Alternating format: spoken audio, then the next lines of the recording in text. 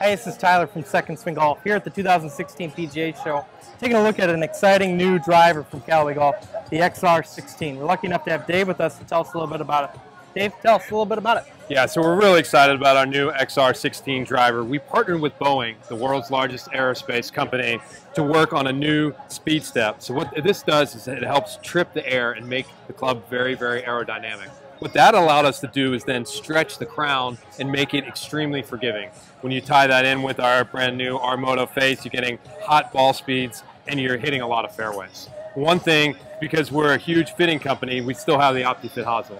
Not every company has adjustable hosel at the mid-price range, but you can you can adjust your loft and lie. You can go two up. You can set it to draw setting, whatever you need. So we're really excited about the total package of forgiveness means fast.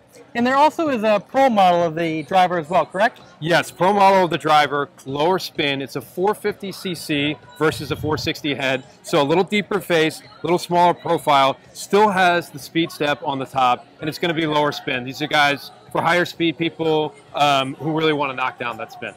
As you can hear from Dave, very exciting announcement from Callaway with the XR16 driver. Stop into Second Swing Golf or schedule your fitting online today to hit the XR16.